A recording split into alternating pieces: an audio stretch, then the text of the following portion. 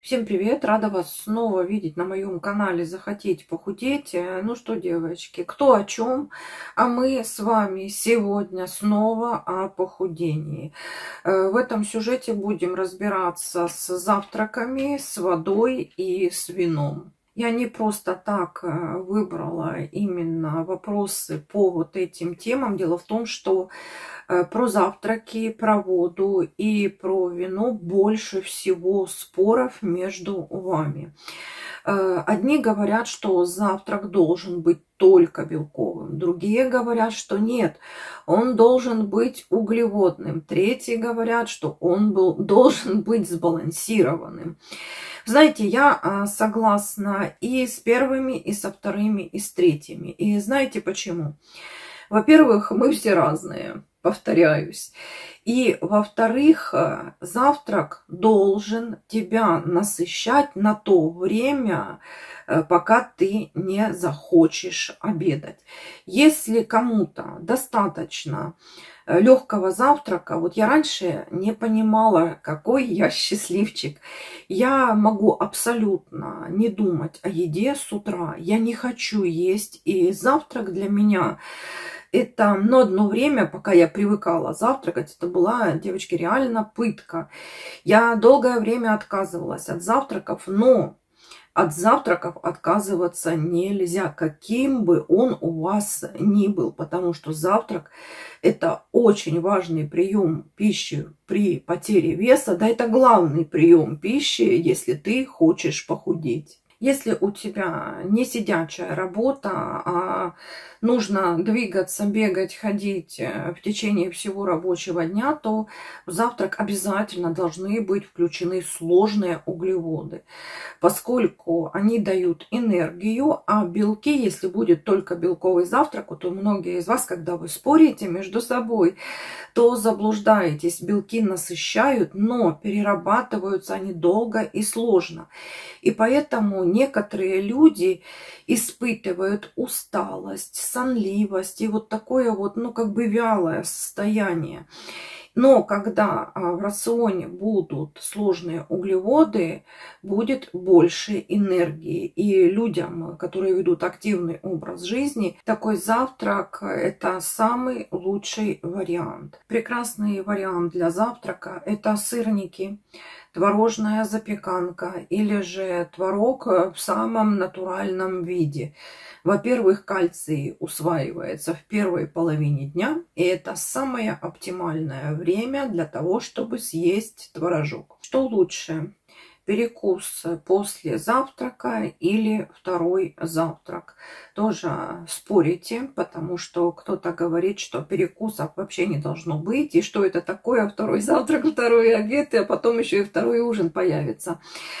Здесь э, и первые правы, и вторые правы, поскольку есть такие продукты, которые не сочетаются, и э, можно какую-то часть. Вот, ну, возьмем, к примеру, если у тебя творог, там, молочные изделия, они хорошо сочетаются с фруктами.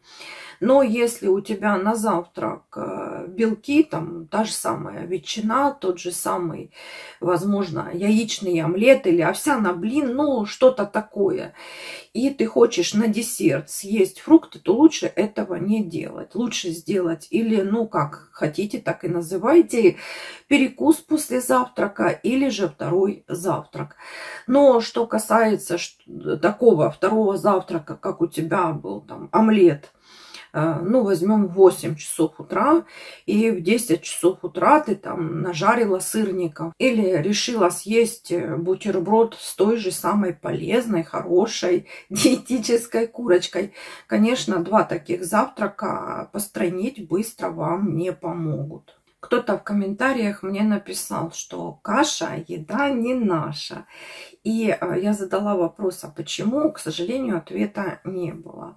Э, естественно, если есть э, манную кашу, да, даже овсяную кашу, там, гречневую кашу ежедневно на завтрак, будет переизбыток сложных углеводов и как бы не будет вот этого баланса. И, естественно, процесс похудения будет тормозить.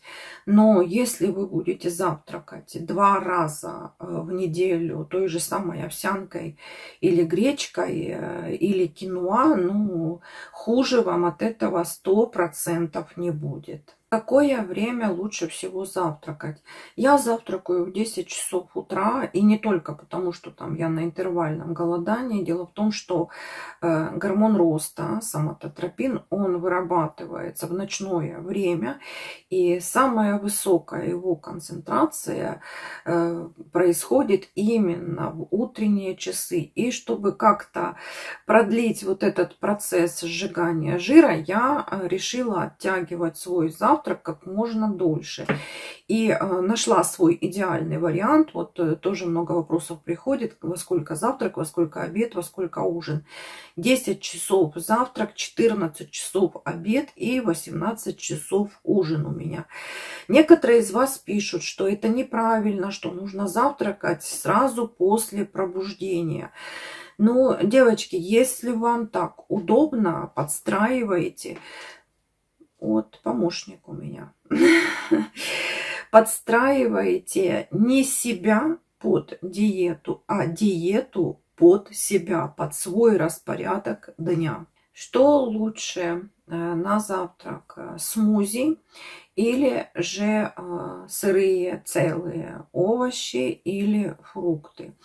Э, смузи – это полезный напиток, натуральный. В нем содержатся все полезные вещества, потому что мы его делаем непосредственно перед употреблением.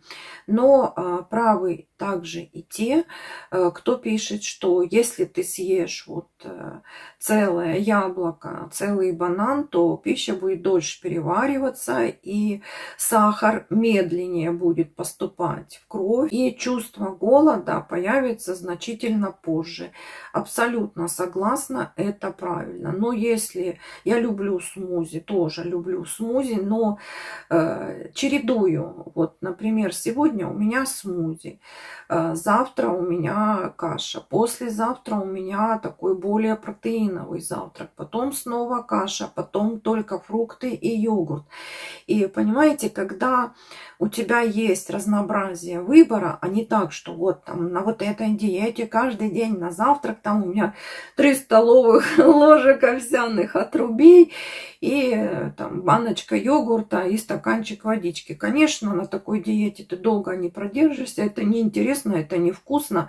А когда нас что-то не устраивает, мы быстро это бросаем. Поэтому завтраки вот давайте уже Подведем итог. Э, должны завтраки, должны насыщать. Выбираем завтрак по своему вкусу и по своему образу жизни, как выяснилось, у кого какой ритм жизни и подстраиваем, время и, э, соответственно, продукты, которые вы используете на первый прием пищи под себя, а не подстраиваете себя под какую-либо, какая бы там она модная ни была, диету. Двигаемся дальше. Вода. Тоже очень много спорите. Кто-то пишет, что нужно пить ледяную воду, холодную воду с лимоном, с соком алоэ. Э, сразу после пробуждения, перед каждым приемом пищи непосредственно, а не там за полчаса, не за 40 минут. Нужно пить именно горячую воду, чтобы она ну, была чуть прохладнее кипятка. Нужно пить теплую воду. Э, Мое мнение и то, что я практикую, это теплая вода за 30-40 минут э, до начала еды. Раньше ой, не помню, девочки, не буду врать, какой год, э, мне давала совет моя врач-эндокринолог, что э, воду нужно пить непосредственно перед едой, что это заполняется желудок, и как бы мозг получает сигнал, что туда что-то попало, ты меньше съешь и т.д. и т.п. Я это практиковала, и потом она ездила, да где-то, наверное, через год после вот этого, что у меня было два визита, э, и она мне там назначала определенное питание. Два визита в год. И она приехала из, с конференции, или там у них какой-то симпозиум был, ну, там все диетологи, эндокринологи, специалисты по питанию из Парижа и прислала мне на e-mail письмо, что на вот этом вот э, семинаре, который она посещала, именно там тема была посвящена воде. И по новым исследованиям э, воду перед самым приемом пищи, оказывается, пить совершенно не нужно. Что намного эффективнее пить воду за полчаса, за 40 минут до еды. Температура воды, естественно, теплая. Вот, ну, 36-35 градусов. То есть это не кипяток, это не горячая вода, но теплая. Ну, я вот, знаете, девочки, градусником, честно скажу, не меряю. Вот э, чуть теплее комнатной температуры, ну, наверное, она и есть вот так 30-35 градусов. И вот такую водичку я пью. Почему не холодная, почему не ледяная вода, я уже об этом рассказывала. У меня есть отдельное видео, как пить воду для потери веса. Сейчас вкратце скажу. Ледяная вода, холодная вода, она проходит порожняком. Она практически не задерживается. Не только в желудке, что вода в желудке долго не задерживается. Если кто-то думает, что выпьет пол-литра воды, то там 2-3 часа он есть не захочет. Нет, это не так. И э, когда ты пьешь холодную воду, она вошла и вышла. Но теплая вода, она э, имеет температуру вот, ну, близкую к нашим внутренним органам. И это дает э, клеткам э, кишечника, желудка в первую очередь впитывать в себя водичку и не отпускать вот так вот впустую из организма. И э, по поводу отеков тоже скажу. Когда мы вот э, пьем воду, и которая задерживается у нас в организме, у нас не будет никогда обезвоживания. А если мы пьем холодную воду, и она выходит, многие думают, что если я буду пить меньше воды, то у меня не будет отеков. Наоборот, я про это тоже говорила, стала пить меньше воды, стала больше отекать, потому что организм задерживает э, ту воду, которую ты ему даешь, ее маленькое количество, и таким образом у тебя получаются отеки. Она не распределяется туда, куда нужно, потому что ее нет в организме в необходимом количестве сколько необходимо пить воды в день для потери веса. Девочки, это количество определяется индивидуально, потому что кому-то достаточно литра, кому-то мало и двух с половиной. Один человек потеет больше, бегает в туалет чаще, соответственно, ему нужно пополнять водный запас. У кого-то все наоборот. И а, также хочу заметить, э, все связано с сезонами. Летом большинство из нас больше потеют, извините за такие подробности. Э, на улице жарко и пить летом водички нужно больше. Но я не могу сказать, вот моя норма 2 литра, летом до 3 литров. Но я не могу вот так вот сказать, что ты, Тань, пей 2 литра, как и я, потому что это будет абсолютно неправильно. Тане не нужно 2 литра, Тане достаточно и литра или полтора. Вы посмотрите на свое состояние, сколько вы будете выпивать. Ни в коем случае не нужно насильно пить. И что тебе не хочется, а вот часы. Вот что я не люблю в часах, это напоминание, нужно выпить стакан воды, нужно выпить стакан воды. Тебе не хочется пить этого стакана воды, и э, лучше выпить полтора стакана тогда, когда у тебя вот появляется жажда, чем там через каждый час день-день стакан, день-день стакан. Поэтому все нужно смотреть по своему самочувствию и по своим потребностям. Ну и в заключение про вино. Тем более вот сейчас вот раз-два не успеем оглянуться. Скоро будут новогодние праздники. Вот только недавно была весна, уже все мы в отпуске побывали. Уже начало учебного года, у кого детки первый месяц почти заканчивается. И по поводу вина и спиртных напитков. Есть э, такие утверждения, что категорически любые э, спиртные напитки при похудении нельзя. Я живу в той стране, в которой вино пьют, ну, даже странеющие, даже там пожилые люди, ну, про детей говорить не буду, потому что они, естественно, его не пьют.